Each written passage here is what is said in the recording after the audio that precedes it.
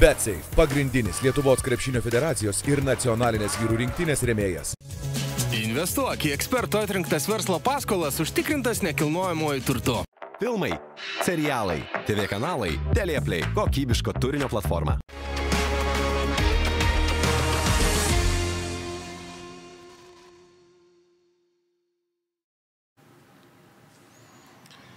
Sveiki, tai laida Krepšinio karštis su Martinu Gecevičiumi ir Linu Kleiza. Džiaugiamės Lietuvos rinktinės pergalę prieš Graikiją. 92-67 laimėtas mačas, kuris ir atveria lietuviam duris į pasaulio čempionato ketvirtfinalį. Pirmą kartą nuo 2016 metų mes pasiekėme stambaus turnyro šį etapą. Ir kas žino, kai bus toliau, apie tai būtinai pakalbėsime. Sekmadienį laukia mačas su amerikiečiais dėl pirmos vietos. Jau galime dėlioti, su kuo galbūt žaisime ir ketvirtfinalį, bet pradėkime nuo šių rungtynių. Martinai, tu sakai prieš mačą, pabrėždamas, kad Lietuvos rinktinės žaidimas labai daug priklauso nuo tritaškių. Na ir šios rungtynės tikriausiai ir patvirtino. Lietuviai tiesiog užbombardavo graikus tritaškis 15 tolimų metimų iš 25 berots. Aš prieš čempionatą sakiau, kad lietuviai, lietuviai tikėjausi iš lietuvių rezultatų žaidimo, jeigu nori laimėti, tikėjausi, kad, tiksliau sakiau, kad turėtų pataikyti tritaškus, nes tikėjau, kad tai pataikys, aišku, 20, iš 24-15, tai yra tikrai kosminis pataikymas, žaidimo 60 procentų, tai prieš tokią pakankamai fizišką komandą ir matėm, kad pirmoji pusė tikrai buvo problemų, bet uh, lietuviai visiškai susitvarkė, gal, sakykime, graikai neturi tiek daug to ką kalbėjom, lietuviai turi tikrai pakankamai ilgą suolą, ką šiandien pamatėm, buvo tikrai žaidėjai, kurie buvo nuo suolo, turbūt tą lūžį vis ir padarė antroji pusė ir tai yra didžiulis ginklas, ginklas Lietuvos komandoje, graikai to neturi. Ir aišku, kad taip, kad taip pataikai, tai atrodo viskas gražu, iš tikrųjų gražu ir buvo, ką, ką, ką susikūrė, neforsavo niekas, metė visi, dalinosi kamuolį, tvarkingai viskas vyko, tai padaryti 25 rezultatus perdavimus, tokiu procentu, aišku, tai yra normalu, bet tai rodo komandinį žaidimą ir kad vėl galime eilinį kartą turbūt sakyti, kad ta kreivė eina į viršų, kitaip turbūt nebūtų galima pasakyti, nes atrodo, kad graikai tikrai pakankamai, nu, solidesnis turbūt galima sakyti varžovas, negu buvo Jotkalnyje, jau nekalbant apie Meksiką ir, ir Egiptą, bet uh, kad taip ramiai susidorosim su visko, turbūt ir, ir mes nesitikėjom, bet uh, smagu, kad lietuviai padarė tai, ką turi, turėjo padaryti, ko visi tikėjomės, kad padarys ir smagu, kad dabar esam tarp uh, tų aštuonių stipriausių komandų. Tai tikrai geras darbas ir puikus krepšinis, galime tik tai pasakyti. Ir vienas e, žmogus bent jau tikrai tikėjo tuo, e, Linas prieš mačą dar parašė žinutę, kad viskas bus e, ramu, lietuviai laimės 20 taškų. Kaip tu Linai numatėjai ateitį ir ar taip pat įsivaizdavai, kad ir po dviejų kelinių bus toks pat rezultatas? E, ne, iškart galvojau, kad varžybos bus lengvesnės ir uh, tikrai tikėjau, kad laimės bent 20 taškų, nes graikai neturi ką pasiūlyti, uh, turi savo gynybą, sakykime, pasiūlyti, bet uh, vis tiek uh, puolime jų talentas su taip, kaip jie dar žaidžia ir lietuviai puikiai, puikiai prisėmė rizikas ir padarė gerai, jie leido Vokapui atakuoti, e, kad neveltų daugiau kitų žaidėjų jie per apačią visus pataikės penkis tritaškius, e, tai, bet čia, čia nėra problema. Bet pasižiūrė kitus žaidėjus, e, mano mėgstamiausias Papajanės užžaidė kosminės varžybas. Keturi taškai, bijo to kamulio, kaip nežinau ko, tas. E, tai Papa Nikolau nulis taškų, Papa Petro 9 taškai. Tai su, su tiek limituota komandai dar tie žaidėjai ant tiek buvo sulaikyti ir blogai žaidė, tai iš viso jokių šansų neturi. O lietuviai išlaikė tą fiziškumą, pirmoji pusė viską ir, ir, ir kai graikai pabėgo ir tas klaidas e, padarė, bet buvo, buvo geras išėjimas labai ir, ir, ir tų visų, ir, ir Motejūno, ir Bendžiaus, kur tikrai turėjo tas e, geras varžybas. Tai, nu, kai žiūrite Lietuvos rinktinę žaidžiančią, tai sakau, man pažiūrėsim, čia visi juokės iš manęs, kad aš sakau, jie turės geras varžybas prieš Ameriką. Tai ateina sekmadienis, man Amerika tikrai, nu, niekuo neipatinga komanda yra. E, tai šiandien jau turėjo geresnį testą prie kažko ten, e, nebuvo kosminio rezultato ir lengvo pasivaikščiojimo Bet esmė, kad e, pakol kas lietuviai tikrai atrodo gerai kaip komanda. Matom, pagavo tą visą žaidimą ir, ir, ir komandos sielą tinkamu laiku, čempionato metu. Nu, reikia duoti vis tiek, Kazys panašu, nu, kaip sakoma, nešo, ne, nesakykime, op, neperšokė tos dobės, bet e, moka sulibdyti komandą iš vidutinių žaidėjų. Ta matėm žalgerį ir, ir tą, ir padaryti komandą, tai pakol kas puikiai viskas funkcionuoja. E, turbūt dar sakiau prieš prieš čempionatą viską, kad tas antras penketas turės pagyvinti pirmo penketo ir dabar, kai kartais mūsų antras penketas žaidžia geriau nei pirmas penketas. Ir matom, kad Jekubaitis uh, tampa tuo žaidėju ir, ir, ir ta žvaigždė, kurios mums reikia ir veda tą komandą į priekį. Tai tą visą visą labai malonu matyti. Aišku, nu, kosminis pataikymas šiandien ir uh, gali sakyti, graikai gerą gynybą turi, čia ne, nėra tas, tai, bet kai tu meti 30 63 procentais, 2 taškus irgi 63, nu, tai uh, čia daug kas uh, neįmanoma atsilaikyti, bet esmė, kad aš sakiau, tam čempionate tokios komandos, kur va, kaip išeina kai Wokapas turi turėti pasirodymą tokį, ko nu, jis nėra toks žaidėjas, jis nėra poliminis žaidėjas, jis nėra tas, kuris tau pataikys, ištems tavo komandą. Tai esmė, kad ateis tas laikas, ir jie pe, bus perlaužti, kaip matėm daug kas čempionate, laikosi, laikosi, laikosi iš tų paskutinių, iš tų pataikymų, iš ten ateina net ten Venezuela ar prieš kažką, ar, ar ta komanda prieš Sloveniją, kur pataiko visus tritaškius iš pradžių ir tik metą, bet ateina tas laikas vis tiek, visi grįžta į tą realybę. Ir ta realybė pasijaučia tą 30 minutę, 25 minutę. Nu, tai graikų realybė yra tokia, kad ten yra, e, nu, kaip pasakyti, e, Nu, ne LKL lygio komanda. Nu, gal ne. Bet, nu, tai nėra ta Graikijos rinktinė per nieką, neturi jie playmakerių, neturi skorerio nei vieno, turi minkštą centrą, turi, nu gerai, duokim biški kredito, ta prasme, tam... Larenzakiui. Larenzakiui. Ne, ne Larenzakiui, tam... Jan, koks ten, Janio broliai, sakykime, kur duoda tos energijos įneša, nu, bet jis to... Ne, Bet nu, kas iš to? Kamuolio jis negali, jis jis pagauna, jis dabar esmė. Nežino, ką daryt su kamuoliu. Nu, ir tu žiūri, čia MBA žaidėjas. Nu, wow. Nu, okay, čia NBA žaidėjas, čia tikrai. Tai, NBA. bet ten įnešė tos energijos pakilęs nuo suolo va, prieš Zelandus, prieš dvi dienas prisirinko tas penkias baudas ar keturias. E, sakau, bet e, geriausias jo žaidimas yra pakilus, nuo, su- būdamas ant suolo, pakilus ir plojant. Tai ir tu turi su tai žais žaidėjais ir, nu, Papa Nikolau, čia kažkokia tragedija šitam čempionate, aš nežinau, ką jis veikia visą vasarą ar kažkur, bet tokio lygio žaidėjas, kad ant tiek net, net bijotų po to mesti krepšį, tai jau čia iš viso nieko negalėjo pataikyti, bet lietuviai padarė, ką, ką turėjo padaryti. O ką jie pakeitė, Linai arba Martinai, pasakykite, nu, pavyzdžiui, kai žiūrėjom rungtinių pradžią, tai graikai vienu metu buvo paleidę 11 tritaškių, lietuviai tik vieną ir stebėtinai lietuviai labai taikliai atakavo tritaškius antroji daly, iš viso, man atrodo, 12-16 tritaškių, jeigu neklystų, įskriejo po, po pertraukos. Kaip atsivėrė tos progos e, metimam, kaip lietuviai Tai tai susikūrė. žinai, susiję ir su tuo pačiu nuovargiu, ir su tuo pačiu, kad e, vis tiek ta rotacija pas juos ten įsivėlė patys tą žaidimą, o lietuviai išnaudojo. Matėm, kad ir Karniauskas išėjo nuo pausto, buvo specialus derinys Bendžiui, tiesiog Karniauskas įvedėm pausto kaip, kaip tą vadinamą feiką ir išleido Bendžiui iš užtvaros, tai matėm, kad prie pikenrolo gynybos nusimetė, viskas tvarkingai, kamuolys vaikščiojo ir tie metimai, jeigu dabar pažiūrėtum, ten tų 80 procentų tritaškų metimų buvo apylaisvė arba laisvi, tai tikrai gerai ištampė, o sakau, kai, kai žaidžia po 30 minučių plus, nu, tai Vol, Papa Petru žaidžia 34, Volko žaidžia 33. Papajanis žaidžia 29, kur negynybinis centras, tai normalu, kad jie pavarsto lietuvai su tokia rotacija. Realiai niekas nežaidė daugiau, Jonas žaidė 27 minutės.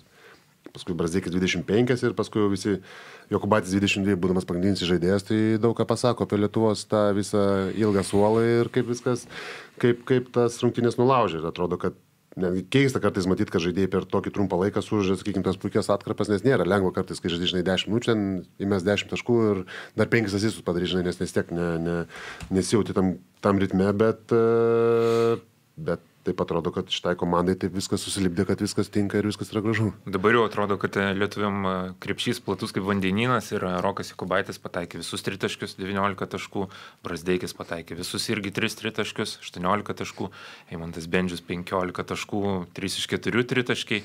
Ir Jonas Valančiūnas pridėjo savo statistiką 15 taškų 9, 9 atkovoti kamuoliai. Ką jūs rinktumėt geriausių žaidėjų? Čia tokia nepaprasta užduotis netgi būtų. Ne, nebūtinai rinkčiau geriausią žaidėją. Manau, pakol kas Ignas tikrai, tikrai gerai žaidžia ir, ir daro tą savo darbą. Tik aš irgi, kaip sakiau, visada nemėgstu, kai žaidėjai išeina su 100 procentų pataikymu.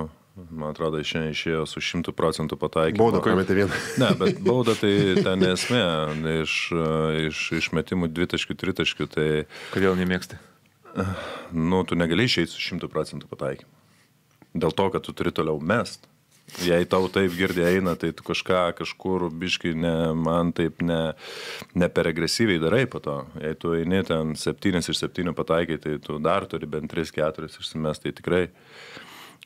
Bet matom, Jekubaitis tikrai dabar gerai jaučiasi pagavęs tą bangą ir, ir, ir tuo metimu pasitikė.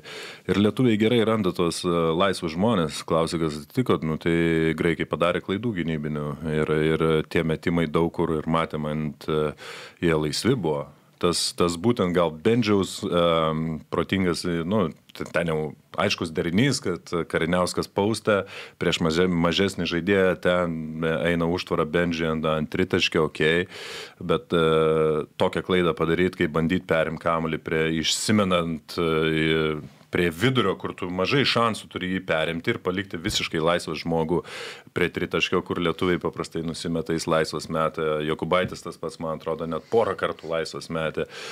Tai paprasčiausiai sakau, graikai neturi tiek talento, labai sunku išlaikyti tas visas varžybas, o kai lietuviai žaidžia tais dviem penketais, tas antras penketas dar pagyvina, dar daugiau spaudžia, dar greitesnį krepšinį žaidžia, tai yra su, su, su, sudėtinga.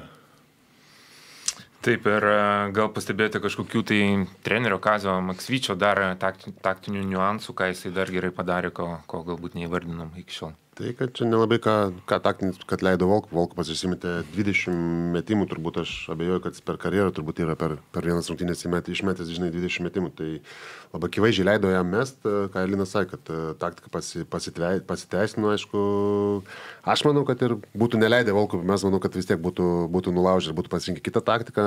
Kaip, jeigu būtų lietuviai taip žaidė, tai aš manau, kad ir tų taktikų čia, žinai, labai daug ten tų nereikėjo, ką ir sakėm, kad uh, Pagrindinis buvo turbūt tas, kad e, atsakė į tą kontaktą, kur davė graikai ir graikai tikrai neždė gerų rungtynių, lietuviai suždė dar geresnės negu, negu prieš tai. Tai čia, žinai, po kitokie skaičiai, tai sunku kažką ieškoti, kažkokių taktinių gudrybių, per, per kur nulaužinai. Čia būtų keli, ten kelių taškų skirtumas, tada galėtum galvoti, kur ten parizikavo, ką padarė, bet uh, taip, planas buvo aiškus, kad uh, Volkpas galėtų mes kiek nori, jisai metė kiek norėjo, tai bet ar, to, ar taip graikai žaisdami gali, gali laimėti rungtynės, nu, tai be šansų. Taip ir a, po pirmo e, etapo mes lenkėme, aišku, Graikiją ir pagal statistikos rod- rodiklius beveik visus, pagal ko- atkovotus kamolius, pagal blokus lietuvių apskritai tarp lyderių čempionate ir, ir e, ką, ką, ką dar galima būtų išskirti, kalbant apie Lietuvos a, rinktinės žaidimo rezervus, ar įmanoma žaisti dar geriau, kaip galvojate. Nes iš principo, na, seniai teko matyti, kad čempionate to taip pasitikinčią komandą ir taip užtikrintai žaidžiančią. Nu, aš manau, tie testai tik sunkės ir, reikės rasti, kas, kas, kas ištrauks, kai ne, ne, nekris metimai. Nes gali būti juoda diena, ar kada tikėkime, kad jos nebus, bet tada reikės gimdyti, reikės kažkam e, vienas prieš vieną žaisti. Tai tas ir atsistos ant Jokubaičio, Brasdeikio, manau, pakol kas e, Jonas susiduria su sunkumai žaidžiant nugarą vienas prieš vieną. Nėra labai efektyvus. E, tai ten, tokio, ten matau dar tą rezervą, kurį reikės surasti ir aš manau, jis tikrai turi turėti tas tokias e, monstrinės varžybas, kai ten turėjo prieš Vokietiją. Man atrodo, prieš Vokietiją buvo praeitam Europos čempionate. Ne, kai jis ten pagerino tus rekordus ar kažką, tai va dar ten toks e, visas rezervas yra, bet e, man patiko, kaip Lietuvos rinktinė atlaikė, būdama e, paleisdama Graikijos rinktinėje minus 8, padarydama tų klaidų ir, ir, ir vis tiek jokio, jokios panikos nebuvo ir, ir žaidė užtikrintai. Tai tikrai bus tų varžybų, kaip e, tos e, talento lygis išauks tikrai, nu jau kitose, lygi, kitose varžybose jau poliminis talentas bus žymiai aukštesnis nei Lietuvo, šiandien net nėra klausimo, ten kiekvieną žaidėją paimk ir jis gali žymiai daugiau polime nei, nei tik labai įdomu, kokį, kaip, kaip, kaip jie komandą žais.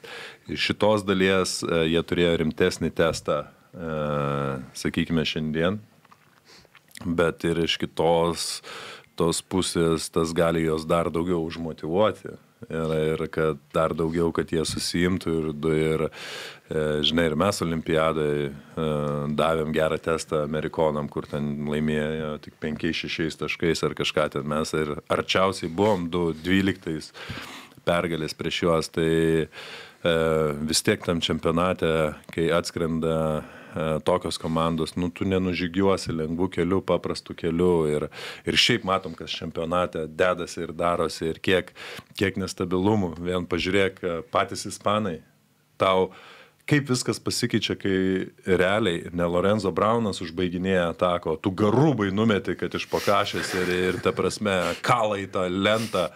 Ir va, ir tavo krepšinės, tai žinai, tas ir atsistoja ant tų vieno, dviejų ir, žinai, ispanai, viskas, ate, gali būti ir turbūt bus. Dar, nu, dar neaišku, ne, nes brazilus ar kažką.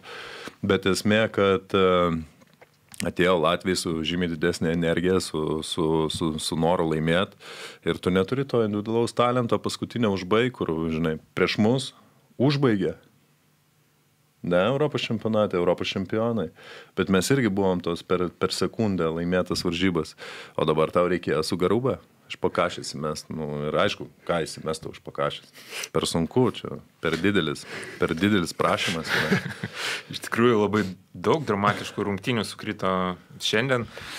Jeigu galima pailiui, mes praeisime ir pradėkime nuo pirmosios staigmenos, tai įvyko į grupėje, kur atrodė, kad serbai turėtų nugalėti Italiją, jie yra pirmavo didžiąją rungtynių dalį, tačiau dviem taškais italai išplėšė pergalę ir Simonė Fonte, Fontečio, aišku, sužaidė fantastinės rungtynės, 30 taškų.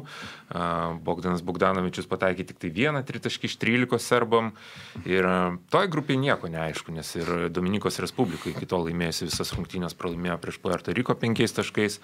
Ir reikiuotė dabar yra pakankamai paini. Sekmadienį žais ser, serbai su Dominika, Italija su Puerto Riko.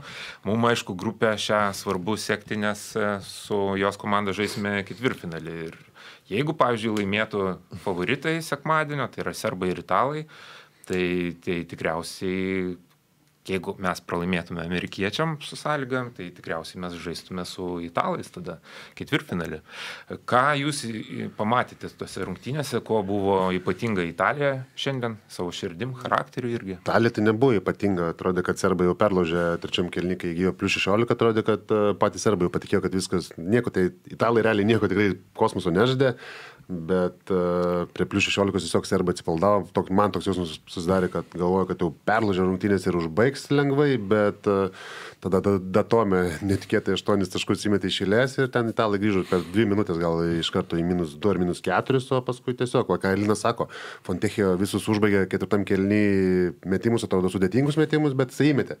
Grinai vienas prieš vieną žaiddamas, nieko ne, nesugalvodamas, tiesiog stebekus 3 iš eilės, man atrodo, iš vidutinių įmetė ir realiai tas, tas rungtynės uh, uždarė. Tai suždė kosminės rungtynės, įmetė kiek čia 30 taškų, 15, 11 iš 15 iš, iš žaidimo ir nubūdė serbus. Serbai negalėjo pataikyti, tas pats Bogdanovičius ėmėsi ant savęs, tenai, nežinau, bandė, bandė pramuš, bet vienas iš 13 atrodo, kad, nežinau, neturėtų tiek mesti ir neturėtų tiek pramesti, turbūt galėjo kažką kito ieškoti, nes bandė tiesiog pramušti stebekais, ten nebuvo tai, kad jis laisvas gavo ir metė, realiai viską žaidė, nes italai daug keitėsi, o jis žaidė aiso prieš didesnį žmogų ir bandė stebekais sukiais ar ten tais vadinamais įvedę metimais, bet uh, vienas iš 13 parodo, kad kažką, kažką netaip darė turbūt.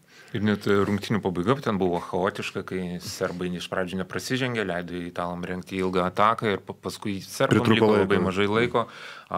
Stefanas Jovičius paleido tritaškiną, kuris net nėra sniperis ir metė iš, iš labai toli, iš 8 gal metrų.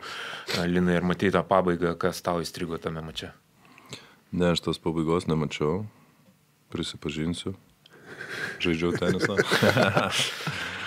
Bet, uh, matai, arba neturėjo Džokovičiaus šį kartą. Uh, bet esmė, kad čia negali rinktis ir, ir negali žiūrėti, dabar tos varžybos laukia, ten išskaičiuoti su kuo ar ką žais, kai tokios yra ten E, žinai, kai kartais e, galvosi, kad tau geriau su italai žaisti, o gal kaip tik, nu, yra tau blogiau su italai žaisti, nenusiteiksi, neužsimotivuos ar kažkas atsitiks, o jie turės ten tą geriausią dieną. Tai matom, čempionate tos komandos visos tikrai yra pylygės, su, su visom reikės reikia žaisti vienodai, tai aš nemanau, kad ten yra viena ekipa rankesnė ar, ar kita Lietuvos. Aš manau, kad daug, daug komandų prisibijo dabar Lietuvos. Tai esmė, bet kita esmė, kad niekas su amerikonais nenori žaisti.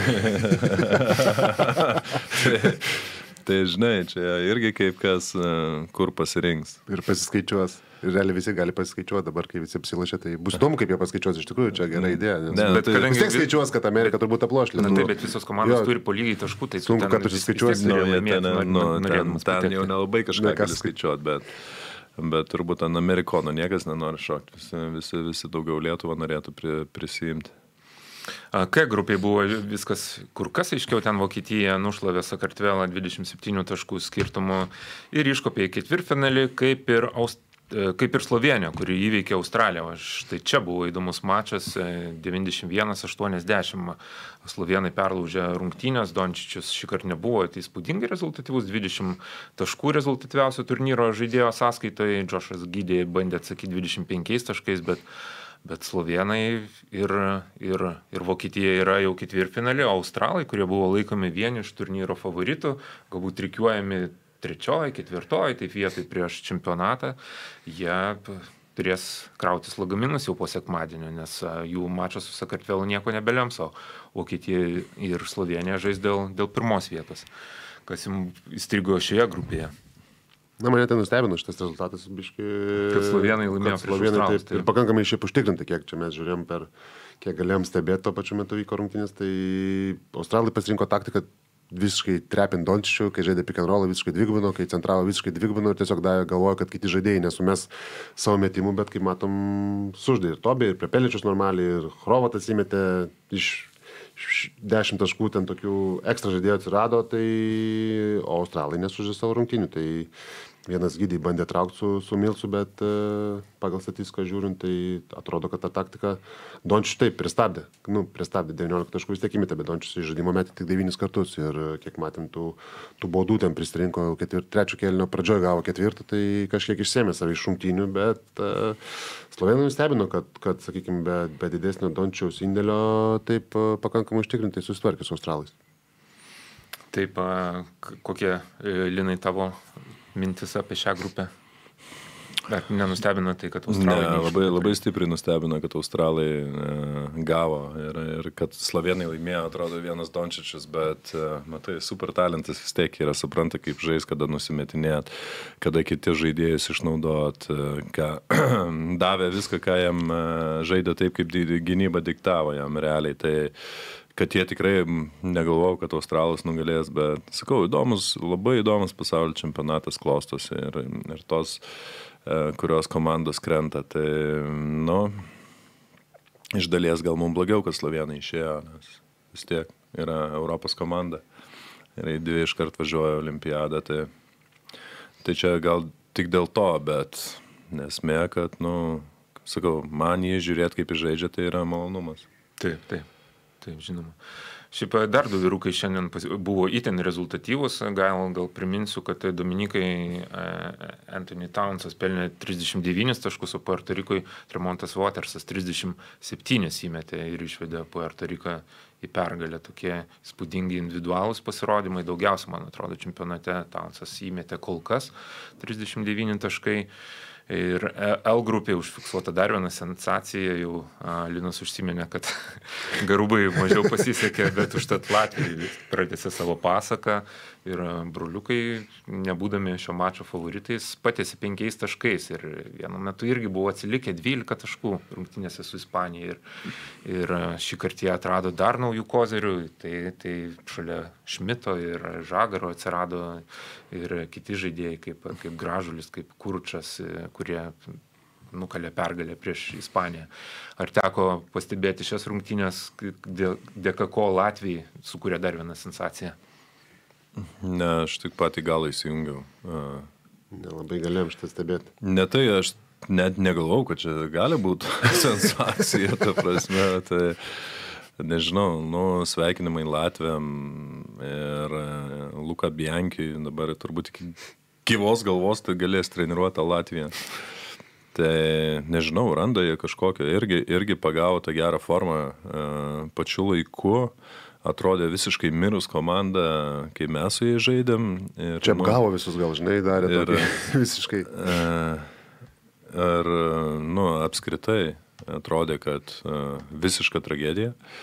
Bet su tokiais žaidėjais, kai pagalvoja, nieko ten per daug neturi iš viso, ir rotacijas tos nėra ten didelės, ir kai tavo pagrindinis žaidėjas yra nevėžio žaidėjas praeitais metais ir, ir tu nugali prancūzus, ispanus, tai, nu, čia tokios komandos, kur tikrai demonstruojate charakterį didelį, nu, talentų, niekuo jos ten neima.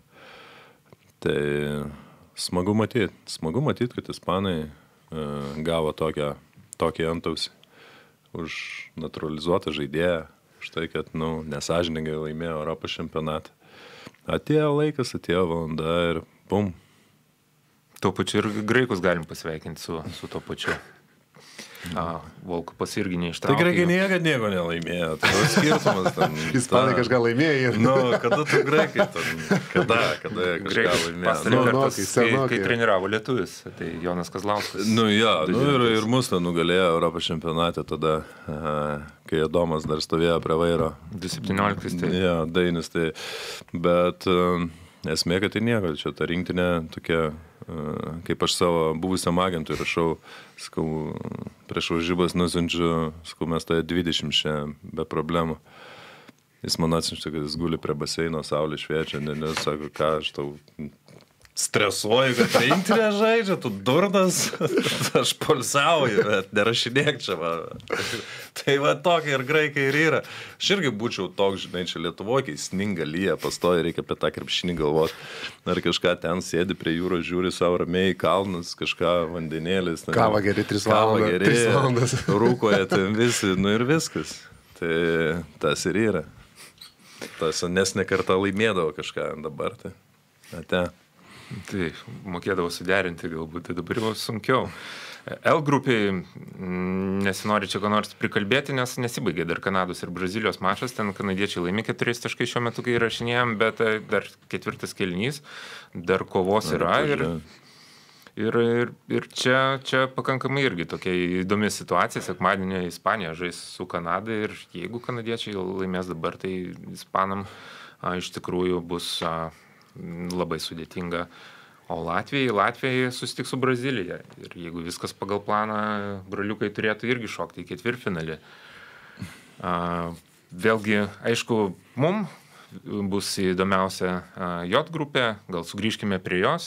Šios dienos rungtynės amerikiečiai vargo su J kalnyje, stebėtinai gal vargo, iškovojo pergalį, jie galiausiai 12 taškų skirtumų, bet kiek teko matyti, tai iš tikrųjų po po pertraukos vienu tašku dar pirmavo Jotkalniečiai, likus e, žaisti keturiom minutėm, amerikiečiai pirmavo gal tik penkiais taškais. E, Gal pastebėjote, ką padarė tokia Jotkalnyje ir ką mes galbūt galėtume irgi padaryti, jau žiūrint į rungtynę su amerikiečiai sekmadienį. Na, aš galvoju, kad e, jeigu čia taip žiūrint iš Lietuvos pusės, tai gali būti visai, kad e, Jono gali būti rungtynės, nes nebus ten tų jokių padvigubinimų, nes ten jie, jie ten išsikeitė nelabai eina padėti ar patrepinti ar dar kažką, tai nenustepčiau, jeigu būtų per Joną kažkiek žaidžiama, bent jau pabandoma daugiau negu dabar matėm, nežinau, ar to, to prireiks, o klausimas, kai visą laiką žaidai prieš Ameriką, ten Kanadą, sakykime, tai kiek tos aikštės gynybos bus, manau, kad gal ir mes Lietuva tos aikštės gynybos šiandien, šiandien jie visiškai nepataikė iš toli, 5-3 taškai iš 19 ir man atrodo, kad tokie atsipalaidavę truputį atėjo, bent jau toks įspūdis susidarė, galvoju, kad, kad, kad nelabai čia bus su kuo žaisti ir e, tas pats Edvardsas, matėm, pirmoji, pirmoji daly 0 taškų, antroji truputį jungė kitą pavarą ir sumetė kiek 17 per antrą pusę, tai parodo turbūt, kok- koks yra, sakykime, jo lygis ir kaip ta visa komanda, man atrodo, šiandien atėjo rungtynės, o Jotkalnie turėjo daugiau šansų galėjo turėti, bet padarė 22 klaidas. Ir ten kai kurios klaidos buvo visiškai grubios, ten atiduodami metimai iš pakrepšio, ten ties vidurį prarandi kam, kamuolį. Tai, tai prieš Ameriką kaip ir visą laiką. Jeigu leisi jam bėgti greitai, darysi klaidų, nesusikurs kažkokių patogių metimų ir leisi jam bėgti greitą palimą, nu, tai turėsi faktiškai, nu, daugiau problemų, negu, negu tau jų reikėtų. Tai įdomu, kokią taktiką pasirinks, ar matysim aikštės gynybos kažkiek ar ne, bet uh, aš kažkaip galvoju, kad Amerika buvo gavę, nuo Jotkalnijų su tokį skambutį. Aš manau, kad su Lietuvoje pažiūrės kažkiek gal rimčiau negu pažiūrėjo Jotkalnyje, bet tikiuosi, kad nepažiūrės rimčiau, bet manau, kad kažkiek turėtų jie pažiūrėti rimčiau, vis tiek pirmą vietą grupėje ir manau, kad jie nenorės kažkaip dalinti tų taškų ir, sakykime, užsidėti ant savęs tos įtampos daugiau. Aš kažkaip galvoju, kad jie ateis nusiteikę kitaip. Styvas Keras yra dar prieš mačą su Jotkalnyje minėjo apie tokią jam problemą amer amerikietišką, kad jie, kai analizuoja varžovus, tai jie nežino tų pavardžių. Nu, jie žino Jotkalnyje Vučičių, Lietuvoje Valančiūną, o visą kitą tada turi sakyti, kad visi vienodi. Denki, visi vienodi denki numerį 5, numerį 12, numerį 7. Linai, tu gerai žinai amerikietišką mentalitetą, kaip galvoji, jie pasitiks rungtynę su Lietuva, nes labai dažnai jau mes sakome, kai amerikiečiai žaidžia su kuo nors, tai jie pirmiausia turi nugalėti save, kad, kad nuveik, įveiktų varžovą. Aš sutikčiau su tuo, bet čia, žinai, tokia problema. Nu, E, gal kai tuos visus geriausius savo žaidėjus turėdavo ir tada gali sakyti ant tos super žvaigždės, bet e, manau, Kobe Bryantas žinodavo visus, prieš ką jam reikia gintis ir, ir, ir kas ką darydavo. Tai jo, susidarė, bet Amerika, sakau, jie nėra ta komanda, jas galima, svarbu su jais būti fiziškais, nepasiduoti jų visom tom lengvom, neduotų lengvų klaidų, nepasiduoti jų tai, kaip sakau, netikrai gynybai, kur būdavo daug, jie su tom rankom dirba ir išmušinėja ir, ir, ir baudų daro.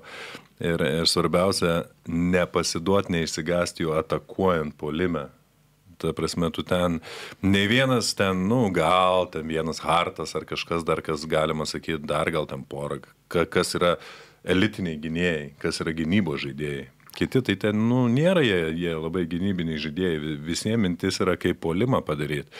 Kaip tą, tai esmė, kad tikrai polime prieš juos gali gauti daug, įvelti juos į tuos, gal, sakykime, įdomu bus, kaip jie ir tas Witcholą bandys mušti, e, nepas, nežaisti labai primityviai prie jos. Kaip tik jam reikia, kad tas kamuolys daugiau išvaikščiotų, daugiau rotacijų būtų, kad duot, duot jiem šansą pasimes daugiau, ne, ne, nesistengt bandyti tą pirmą opciją, nes ant pirmos opcijos jie yra geri. E, gynybai tą pirmą opciją pramušinėti, amerikonai yra tikrai geri, ne, tai, o jau kai ateina antra, trečia, va tada jau prasideda, tai, bet po kol kas, ką matom iš lietuvių, tai lietuviai puikiai randa tas e, antras, trečias opcijas, kamuolys suvaikšto gerai. Ir svarbiausia irgi, mes gerai einam, imam kamolius ir po kol kas gerai susitvarkom su lenta. Ten vienas epizodas buvo, kai graikai nusėmė 3 ar 4, man atrodo, polime kamolius. Tai amerikonus irgi reikia uždaryti. Amerikonus reikia laikyti, kad jie turėtų vieną metimą. Ir, ir tikrai reikės nuo kažko prisimti rizikas, kam duotos tritaškius mest, bet reikės kovotis kamolius, kad jie ne, neturėtų tų antrų šansų ir neduoti jiem daug greito bėgti. E, tai tokios padarytas klampesnės varžybas ir, ir būti su jais fiziškai. E, tai manau, sakau, Lietuva, žiūrinti dabar, kaip mes žaidžiam, tai čia Amerikos laukia labai sunkios varžybos. Grupėje, atrodo, amerikiečiai dar įeidinėjo į sportinę formą ir grininusi tuos savo vaidmenis. Iš, iš pirmo žvilgsnio atrodo, kad jau išsi, išsiriškino daugiau mažiau. Tai lyderis, aišku, yra Anthony Edwardsas, kuris renka po 16,5 taško atletiškas labai gynėjas, ver, veržėsi ir metą, neveltais buvo ir Timberwolves vienas lyderių, turbūt talentingiausias gal iš Amerikos krepšininkų, bet jie turi ir tokių vikrių ir pataikančių aukštaųjų, kas tai bebūtų, ar Paulo Banchero, ar, ar, ar, ar e, taip, jo, Jarinas Jacksonas žaidė su, su Jonu Valančiūnu Memphije, ar Bobby Portisas, visi irgi tokie pakankamai aukšti, greiti. Įdomu, kaip seksis valančiūnai prieš juos rungtiniauti. Nu, valančiūnas bent jau žinos, prieš ką, prieš ką žaidžia, žinai, visi iš NBA, bet uh, jų tritaškų procentas yra 36 kol kas, nematau, kad uh, labai gerai pataiktų, aišku, šiandien turėjo prastesnės, prastesnės rungtynės, bet uh, rizikuoti, aišku, netimsi iš jų visko, ne, negali atimti, sakykime, ir tritaškių iš jų, žinai, ir greito polimo, ir kažko tai, ar vienas prieš vieną žaidimų, taip, jie... Uh, kažką, manau, aukos, žiūrės, kaip, kaip eina, aš sakau, nenustepčiau, jeigu leis kažkiek daugiau tritaškų, mes kažkokių tokių neleis, žinai, lipti ant lentos ir neleis bėgti greitą ir faktas dar jie viską keičiasi, bus visiškai kitoks krepšinis, negu, sakykime, dabar lietuvių žaidė, nes jie tikrai tenai paprastai viską keičia, e, tą gynybą žaidžia ir, ir tiek, ir ten skautų pagalba būna minima, minimali, netgi liekus mažiukam prieš, prieš, prieš didelį, nežinau, gal ant Jono kažkiek kais, jeigu ten išsikeis, bet bus įdomu pažiūrėti, nes e, žinom, kad jie taip, atrodo, kartais pro pirštus pažiūri ten tos taktinius dalykus ir nežinau, ar didelis šansas, Linas sako, didelis šansas, kad Amerikai bus sunku, aš kažkaip žiūriu paprašiau, kad, e, kad daug šansų nebus, tikiuosi, kad klystų, bet uh, geras šansas iš tikrųjų, kad dabar nieko nelėmė lietuomi iš kitos pusės. Ten vis tiek nežinai prieš ką žaisi ir turbūt didelio skirtumo net ir nėra prieš ką žaisi, žinai, ketvirtfinalį, tai geras šansas pasitikrinti prieš gerą komandą, prieš pasidinant tom, tom jau pliofiniam rungtynėm. Tai manau, kad čia viskas Lietuvai yra ir gerų dalykų, ką, ką, ką galima iš tų rungtynių paimdžinai. Taip ir dar galima pridurti, kad aišku, turi savo užduotis ir, ir Amerikos gynėjai, Jelinas Bransonas pelno po 11 taškų, kol kas tai geras čempionatas Austinui Rypsui, kuris atrodo gal ne, nėra toks atletiškas, bet irgi kaip, kaip pašoka gali turbūt galo gal ir pasiekti e, lentą. Ir turi labai dėl kamolių kovojantį, gerai, kur Linas jau užsiminė, Džošas Hartas, keturi tik tai taškai, bet kamolius gali sugriepti per labai trumpą laiką devyni dabar yra vidurkis jo čempionate, jis pirmavo, pirmavo pirmame etape tarp amerikiečių pagal plius minus rodiklį. Gal man pasirodė, kad iš konteksto kiek iš, iškritinėjo Brendonas Ingramas, bet ką gali žinoti, irgi, irgi bet kada gali sužaisti. Na ir Tyresas Haliburtonas, aukštas žaidėjas, kuris atlieka tokius magiškus perdavimus, tikrai labai daug gražių asistų yra atlikęs šitam čempionate. Kas e, jum kol kas labiausiai patinka gal iš amerikiečių komandos ir kaip, kaip galvojate, ar ten turės šį kartą lietuviai pasirinkti dar kaž, kažkuriam tai dėmesį mm. sutelkti, turbūt tokios prabangos negali būti. Nu, e, ką reiškia, negali būti kažką, tą, tą dėmesį vis tiek e, Amerikonai žais paprastai, jie kaip visada žaidžia, kaip ir matom, dabar žaidžia daug viens prieš vienas krepšinio, arba pirma opcija, tas kamuolys retai būna, kada jau jie ten suvaikšto, kaip pas lietuvių suvaikšto, ten 3-4 pa, pasus, 5. Amerikonai nėra pripratę prie tokio žaidimo. Tai sakau, jos, jos labai stipriai reikia laikyti ir, ir man tas, kai visada kalbėjau, tas testas jų bus, kai jiem neįs, kaip jiem viską, kai reikės lauž, kai reikės ir vis tiek jau, va, va šitos varžybos buvo žymiai sunkesnės jiem. Ne? Matom Kanadą, kaip dabar su Brazilais e, žaidžia irgi. Tai kai viskas sustos, tada ką, ką, ką jie žais ir, ir jie žais viens prieš vieną. Tai jei tam žaidėjui neįs ar kitam žaidėjui neįs, va tada jie, man tokie, jie tampa nugalimi, nes tas toks sus, sus, suspaudė tą visą gynybą na, ir duodi, nu, tegul žaidžia tą viens prieš vieną ir pataikys arba nepataikys. Bet uh, tuos, sakau, svarbu atsikovoti kamuolį, svarbu neduoti antrų šansų, nepadaryti durnų klaidų, kad jie bėgtų į tą savo greitą palimą, gautų tų dėjimų ten arba įmest tritaškį. Taip, talento jie ten turi individualiai visada gali nuspręsti, bet nepamirškime, kad yra visai skirtingas dalykas, kai tu žaidži savo komandoje ir esi lyderis po 30-35 minutės. Ir tu čia tave įmeta ir tu eini ten žymiai mažiau žaidži ir tu tą patį bandai padaryti, nu tas nesigauna tas ne, nesileido, tai matom, kad Ingramas turi problemų su, su, su tuo, tai sakau, va čia va, va, man tas amerikonų susimeta, nes yra daug gerų žaidėjų polime, o kažkas turės ten viską ir, ir, ir labai stipriai nusimažinta savo rolę. Tai kai tu NBA meti po 30, o čia išeini ten 7, 8 ar 10 minučių ir 12 ir turi tą padaryti, neturi ritmo, ne, ne, nu tai tas ir to ir tikėjau, aš ir to ir tikiu, kad taip gali atsitikti jiem varžybose ir dėl to jie nelaimės šito čempionato. Manai, kad nelaimės? Aš jau senai sakiau, kad Amerika nelaimės čempionato, bet, nu, čia žinai, Gal ir laimės. Kol kas gerai spėlioja, tai žinai, čia negalima. Tai gal... Esmė, kad, nu, nežinau, dabar žiūrima Kanada, Brazilai, matai, nu. Kanada atrodė irgi nenugalima e, ir polimo Brazilai, mašina, Brazilai pavargė. Ir 59, 59. Tai aš sakau, kad ir kai Amerikai vėl į tą lietą žaidimą, tai pažiūrėsim, kaip jiem bus. O kaip galvoti, jeigu amerikiečiai Aš taip spėjau, kad vis tiek jie bandys užsmaukti žaidėjus, ar tai Roko Jokubaitė, ar tai Kariniauską ir spausti visai kaip, kaip galė, koks planas būtų išsivaduoti iš tų spastų, kurie tikriausiai kad bus. Martinai, kaip galvoji? Aš nežinau, ar e, man nesudarė toks įspūdis, dabar matėme ir graikai spaudė, taip, gal ten Amerikos tekūnai gal kažkiek stipresni, bet aš kažkaip matau Roką pakankamai solidžiai išsivarant, pakankamai solidžiai vadovaujant ir man jis atrodo geros fizinės formos ir ir Kariniauskas tas pats jį puikiai pakankamai pavaduoja, ką kalbėjom prieš čempionatą, kad turėjo problemų, bet dabar man atrodo, kad tas minutės savo pakankamai solidžiai atidirba, nebe, nebeforsuoja įvykių ir matom, kad uh, ir Maksyčio pasitikėjimas pasiteisino ir netgi šiandien matėm, kad uh, su juo aikštelė realiai ten tas lūžis įvyko ir viskas buvo gerai. Tai aš kažkaip dėl to labai nepergyvenčiau kažkaip man tie amerikonai, kad jie ten labai kažką ten stipriai gintųsi, aš kažkaip labai stipriai to, to nemačiau. Lietuviai, taip, aišku, gali jas spaus, bet e, aš kažkaip dėl to, žinok, ne, nepergyvenu, aš labai pergyvenu dėl jų, dėl jų polimo ir, ir, ir lietuvių gal, kai Linas sako, jo ten 3-4 opcijas, bet jie labai puikiai gina, gina tas perdamų linijas visas ir reikės prisitaikyti prie to, nes prie kitų komandų atrodo, ten tie dydžiai, ten tų rankų pločiai ir visa kita yra visai kito lygio ir kurie perdami praeina prieš kitas komandas, prieš Ameriką ne vis laik praeina. Matėme ir, ir šiandiengi prieš Jotkalnį atrodo normalų perdamą duoda, o jie tiesiog žino, gudriai atsistoja, visai kiti greičiai, visai kiti ilgiai rankų ir patipina ir tiesiog perima, nubėga į greitą ir man atrodo, kad čia svarbiausias bus, bus dalykas, kol ko atrodo, kad Lietuva neturėjo problemų su klaidom kol kas šitam čempionate ir pakankamai su to neblogai susitvarko. Tai čia aš manau, kad e, pagrindinis akcentas bus ties tuo. Mhm.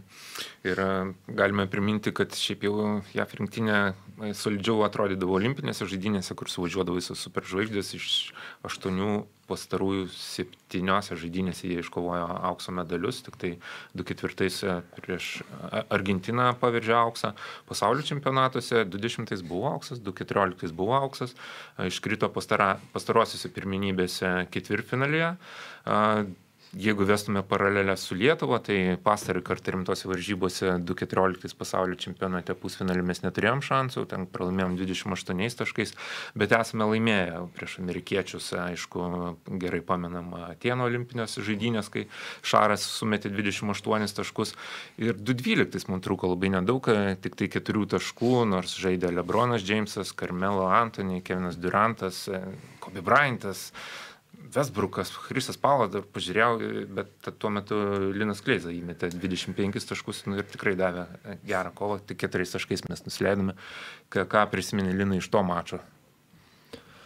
Ne, tai tas visas olimpiada mums nebuvo pati sėkmingiausia, bet tos varžybos principinės visada, kai žaidži prieš Ameriką, tai realiai tu dar tiek dasidedi, nes nenori būti sutriptas visų pirma, ta visada vis tiek ta baimė yra, kad jie tą gali sutriuškinti. Ir esmė, kad jo, tos varžybos buvo geros, dėjom iki tam tų paskutinių sekundžių ir jie visada ir tam pradeda tas baudas daryti ir per tas rankas mušti, teisėjai nieko nešilpia. Dar tada tokie, tokie žaidėjai buvo ir esmė jo, aš irgi čia kažkada pažiūrėjau nesenai tą, tą visą statistiką, bet mes mes dėja ten sužaidėm savo geriausias varžybas, kurias to olimpiadai sužaidėm ir, ir tokios gal vis tiek mažiausiai reikšmės turi, nes ten grupės varžybos buvo. Mm. Tai, Bet visada prieš Ameriką yra tas žaidimas, kai nu, tu nori pasirodyti kaip, kaip šalis, tu nori laimėti, tu nori sukovoti, tu nori kažkaip juos vis tiek tas toks šansas yra ir tu kažkiek jo tiki, bet, nu, mažas tikėjimas yra, bet, nu, toks gyvenimo šansas. Tai e, ta mūsų komanda, manau, žaidė virš galimybių ribų. Ir e, sakau, man atrodo, to olimpiadai mes ten arčiausiai ir prieėm, toks jiem buvo ir, ir biški toks testas, ir jie atsibūdo po to, ir dar rimčiau pažiūrėjo į viską, tas toks, e, vis tiek kiekviena komanda turi tą tokį per čempionatą kažkokias labai artimas varžybas ir tą, tai manau, jiem tai buvo mūsų varžybos. Nu ką, ir mes tikėkime, kad dar vienos artimos rungtynės bus sekmadienį, tuo pačiu laiku 15.40. Čia, čia taip ir bus. Galim net nesirinkti. Galim net nesirinkti. Lietuva laimės. Šį kartą jau Lietuva laimės. Štai taip, štai taip. Skamba tokie žodžiai iš e, e, Lino. Tai neprieštarausiu. Pasilaikau savo prognozę savo tada. Jeigu, tai ką, jeigu Linas iš viską atspėtų, viską žino, tai aš tada. Aš, aš susilaikau tada. Nieko Aš netoks optimistas, bet blogai nebus labai, bet manau, kad Lietuva ir Žalgiris laimės. Daug dievė jūsų žodžiai, tai kad išsipildytų, šiaip širdis jau spurda iš džiaugsmo ir po šių rungtynių prieš Graikiją mes. Primename dar kartą, kad Lietuva vėl yra ketvirtfinaliu po septyniarių metų pertraukos ir turi šansus netgi eiti tolyn ir iškovoti tą vieną olimpinį biletą, nes ko gero panašu, kad e, peršokus ketvirtfinalį mes e, turim labai didelės tikimybės, kad pasimtume ir vieną iš dviejų Europoje skirtų olimpinių kelialapių, kad ir kaip susiklostytų ten pusfinalis. Um, tai ačiū labai Martinai, ačiū Linai už puikias išvalgas. Mes būtinai susitiksime sekmanį iš karto po rungtynių su amerikiečiais, aptarsime, ar išsipildė Lino prognozes ir, ir visus žaidimo niuansus ir kitas įdomias čempionato dvikovas. e, O sėkmės linkime, aišku, ir mūsų vyram Maniloje, aikštėje ir tiem, kur už aikštės ribų dabar rengia reportažus, 15 min žurnalistai kaip tik pateikė komentarus ir dar jie kviečia pajusti Filipinų dvasę savo išskirtiniu reportažu. Mes kviečiame pasaulio čempionato kovas stebėti per teleplay televiziją ir dar kartą sugrįžkite į reportažą, pa- pasinerkite, pasimėgaukite Filipinų dvasia, atrodo, kad tai šalis palanki Lietuvai. Ačiū ir iki. vis. Kiek?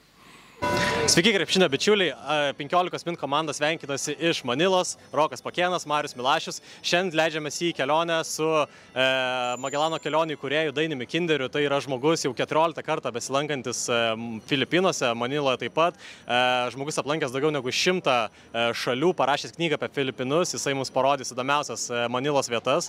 Tai važiuojam? Važiuojam.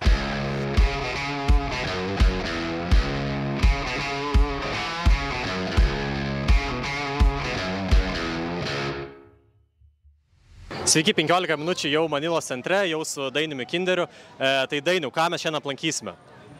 Pirmas sustojimas gana toks netipiškas yra didžiausios pasaulyje amerikiečių karių kapinės, 17 tūkstančių antkapių, likę po Japonijos Amerikos karo 45 metais.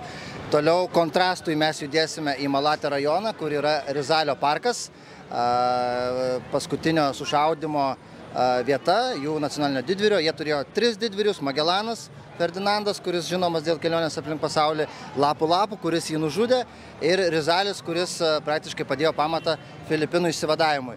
Na ir užbaigsime kelionę Intramūros, tai ispaniškai mūros sienos, intro viduj yra a, buvęs labai gražus a, rytų perlas, kaip buvo vadinamas, su išlikusiais tik keliais pastatais, tai yra katedra, Švento Augustino bažnyčia, ku- kuriuos trokšta visi jaunavedžiai, kad a, susituokti viduj.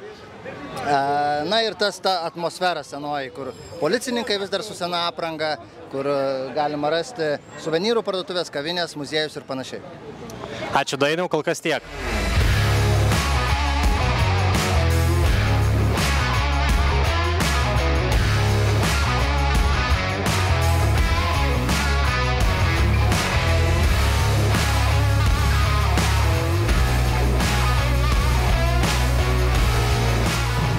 Sveiki sugrįžę, Dainių, papasakokite apie savo pirmą kartą Filipinuose, kaip, kada ir kodėl čia atsidūrėte.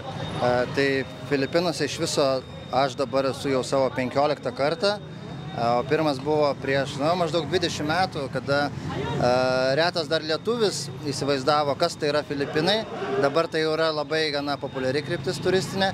Tai aš vykau su taikos misija, a, laimėjau konkursą su vokiečių organizacija ir patekau į vieną pavojingiausių vietų Filipinuose, Mindanao salą, kuri buvo žinoma dėl konfliktų tarp musulmonų, pagonių, kurie ten visą laiką gyveno, ir, ir valdžios.